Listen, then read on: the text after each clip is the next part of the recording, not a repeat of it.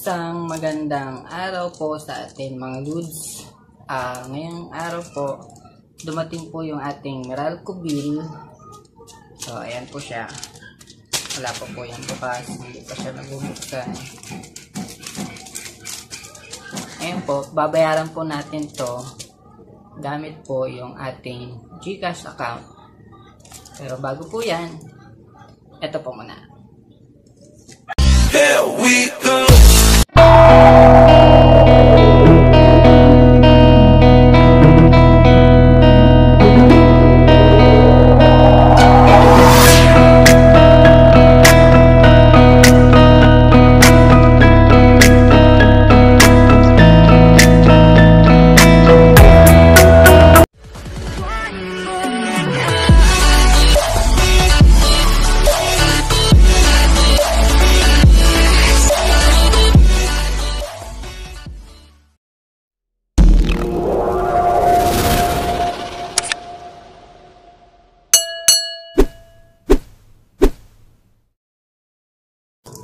So, ayun mga lods. ah bubuksan na natin to para makita natin yung babayaran natin sa Meralco.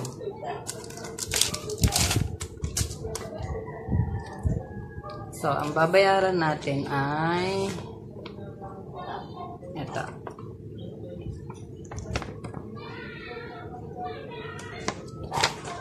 One hundred thirty-five point 98.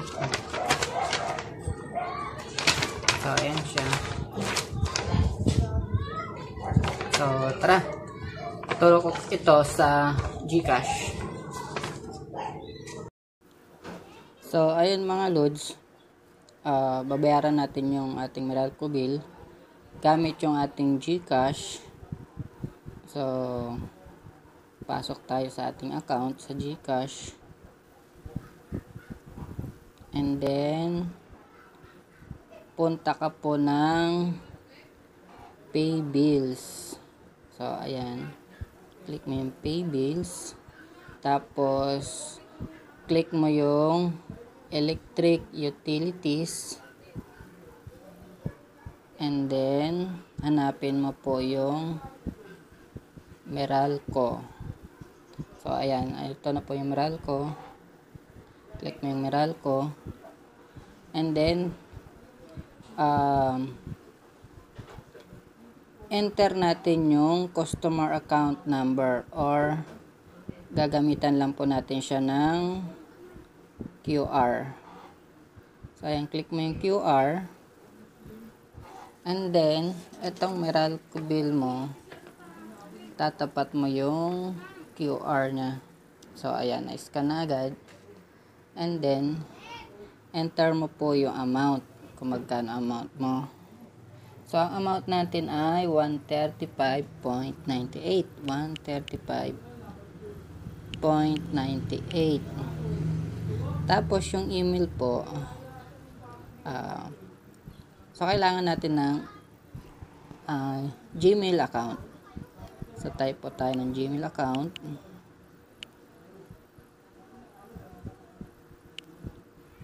So, ayan po. Tapos, pagka next po natin, uh, mag, mag-send si Meralco doon sa ating email. So, ayan. Nag-confirm na si Meralco confirmation. Tapos, send natin confirm.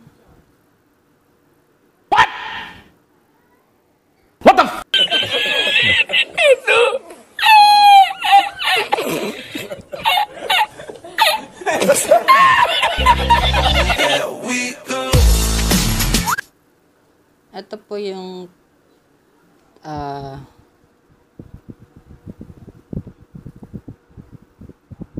text numeral ko na katunayan na tayo po ay nagbayad ng 135.98 pero on process pa po siya within 24 hours. Pero nag-okay po yan ah, hindi po yan ah, tagan hindi po siya nababaliwala automatic na po yan na nag, ah, nag nagbayad ka po sa Meralco. Tapos click done. So, ayan po guys.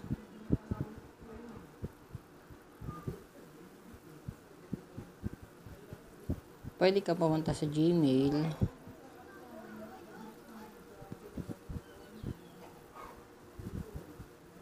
Tapos, napin mo yung account na in-input mo.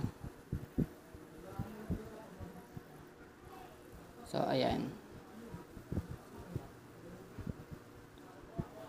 Ito po yung katunayan na nagbayad ka po sa Meralco gamit ang GCash account. So, ayan. Open natin.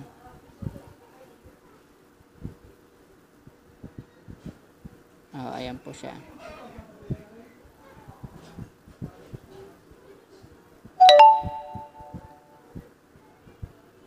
So, ayan lang po guys. Salamat.